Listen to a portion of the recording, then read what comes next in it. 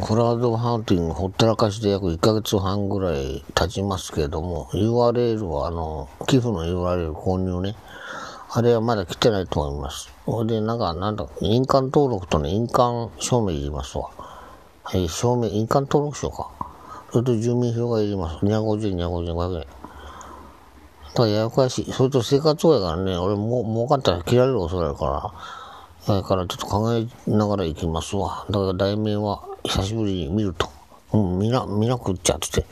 酔っ払いのね、生活が風呂入れちゃったんですわ。もう5年前ぐらいにね。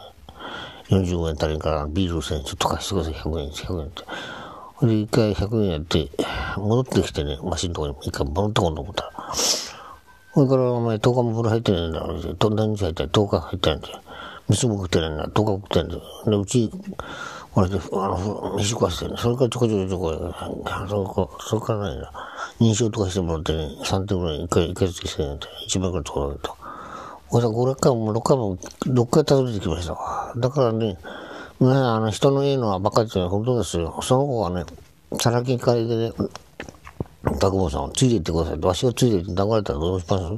だから人のいいのはバカって、そういう覚えてくださいね。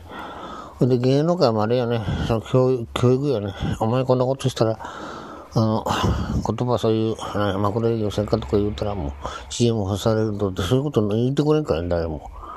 だから世の中は難しい。出川君も悪いよ。